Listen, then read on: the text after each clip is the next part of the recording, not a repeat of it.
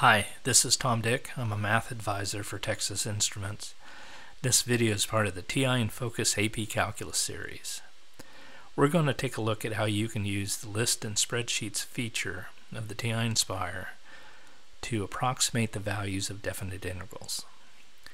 The example we'll use comes from the question number two on the 2019 Advanced Placement AB exam.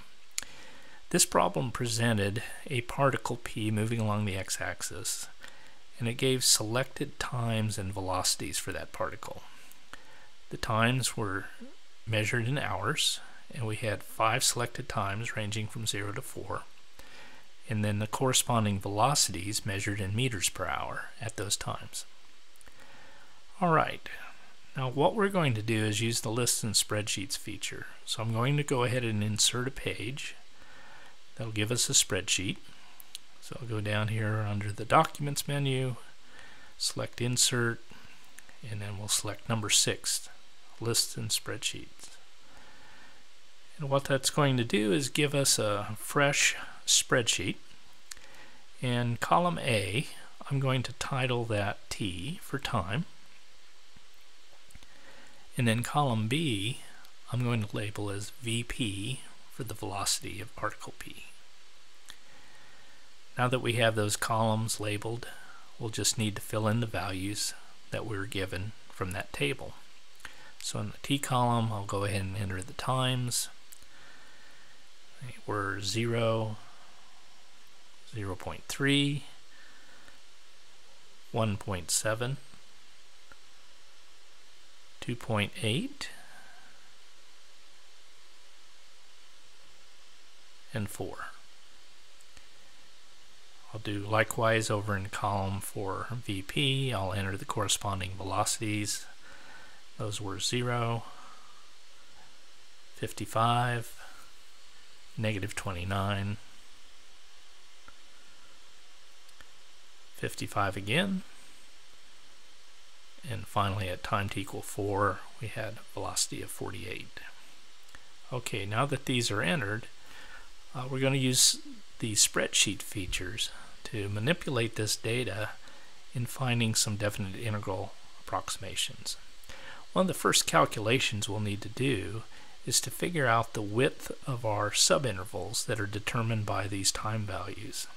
So I'm titling column C as delta t, and there will only be four subintervals. The five values are like fence posts, we'll have four intervals. Our first interval is going to be from 0 to 0 0.3 and the length of that interval would be just equal to, I'll use cell references here, A2 minus A1. That'll give us the length of 0.3. Now I could do a similar thing for each cell, but what I can do here is just use the spreadsheet feature and fill down. And it's going to mimic that formula accordingly. So notice it's automatically figured out. I would want A3 minus A2, A4 minus A3, and so on to give me the delta t's for the rest of my t values. Okay, now let's go over to column D. We're going to title that left R. That's for a left Riemann sum.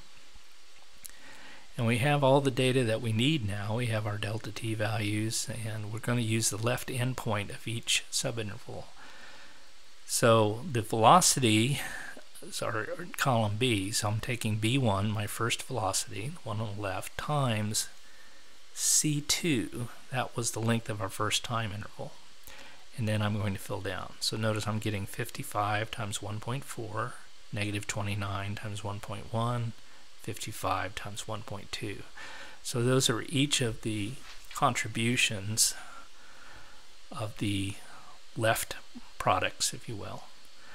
Now I'm going to do a similar thing in column E for a right rectangle or right Riemann sums. And that's going to, I'm going to take the uh, right endpoint of each interval, the velocity there, times the length of the subinterval. Once I do that for that first cell, which was equal to B2 times C2, I could just fill down and it gives me the rest of those products. Great. Let's go ahead and figure out what we would need to do for a trapezoidal sum. Now here I need to figure out the average heights. Um, if I'm thinking of a trapezoid, that will be actually the average velocity of the particle over each subinterval. That'll just be the average of the left and right endpoint velocities. So for my first average, that'll be the average of b2 plus b1 divided by 2. And then once we have that value, again, we can just fill down to get the other averages. And now we're going to multiply each one of these by the corresponding delta t and that will give us the components of our trapezoidal sum. So here we'll do uh, F2 times C2, that's where our delta t's were. And once we've done one of those values, again, this handy fill down feature makes it easy to fill in the rest of the table. Okay, now we've got all these values. Uh, we haven't actually found the sums yet. So let's go over to the left Riemann sum column and go ahead and total the values in that column. And those ran from D2 through D5. Okay, and for the right rectangle sum, or Riemann sum, we'll do the sum of E2 through E5.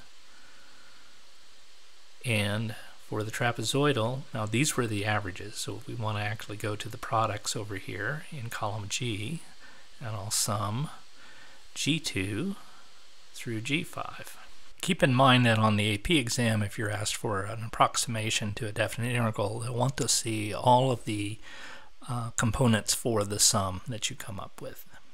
Now on the AB question 2, uh, they actually asked for the trapezoidal approximation over just the first three subintervals. So I've gone ahead and summed just G2 through G4, and this was the answer that was expected on that question of 40.75.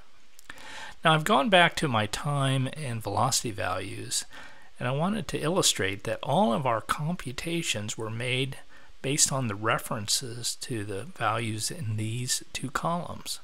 So I'm going back and editing my time values to, some new time values. These ones are just integers from 1 through 4. And I'm going to go ahead and change a couple of the velocity values, just uh, pretending that we had a new data table here.